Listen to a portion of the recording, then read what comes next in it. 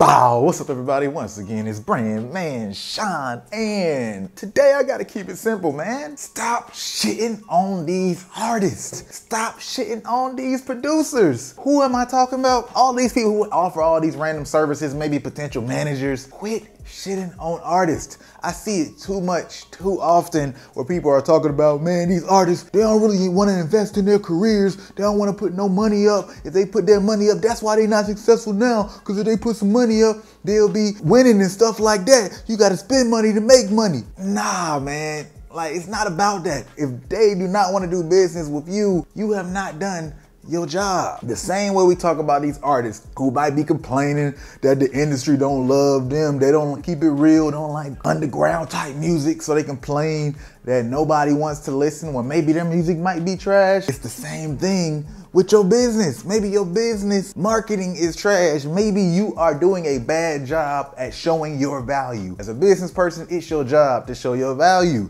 And if an artist really doesn't have the right mentality, maybe they're not the right person and client you want to work with in the first place. Cause keep in mind, man, all money ain't worth it. I've worked with artists before and it wasn't worth working with them. It just is what it is. There's some artists that are gonna give you a hard time. There's some artists, they might not even give you a lot of money, but you might go, through hell and high water for them. But once again, man, for real, if your business ain't together, if you don't have the ability to convince somebody to purchase your product, purchase your services, then you're in the same position as an artist who can't get somebody to listen to their music. It's not on the artist, it's on you. I got all these connections and I can put them on. They don't even know. You need to figure out how to make them know what you got going on. But shitting on these artists, especially the ones who do it publicly, this is really what I'm talking about. Everybody, you can have these conversations behind closed doors because there are some annoying clients, there are some annoying artists, there's annoying people out there in the world. But don't be on Twitter. Your entire Twitter feed is talking about how artists suck and if they were real,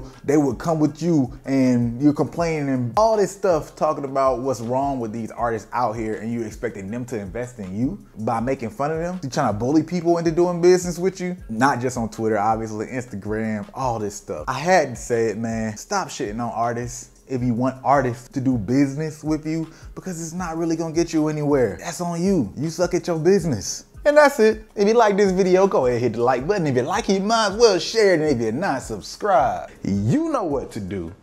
Hit that subscribe button.